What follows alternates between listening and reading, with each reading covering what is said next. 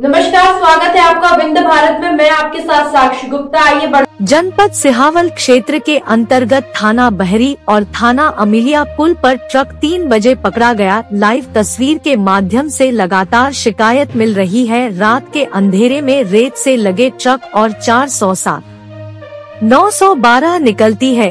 उसी को देखते हुए बहरी थाना प्रभारी गीता त्रिपाठी एक चौकीदार रखा गया है। वीडियो बनाते बनाते आधे पुल के पास पहुँचने पर मैं खुद स्वयं पहुँचा और ट्रक को वापस कराया। अमिलिया थाने में कई पुलिस वालों से संपर्क किया मगर संपर्क नहीं हो पाया। थाना प्रभारी है। अमिलिया नेटवर्क न होने से फ़ोन से बातचीत नहीं। होम गार्ड और घड़ियाल के द्वारा वापस कराई गई पुल क्षतिग्रस्त होने के बाद भी रात और दिन निकल रहे हैं। रेत से लगे हुए वहाँ और खाली ट्रक आम जनता जो वोट देता है, वह पैदल निकलने को मजबूर कैसा प्रशासन?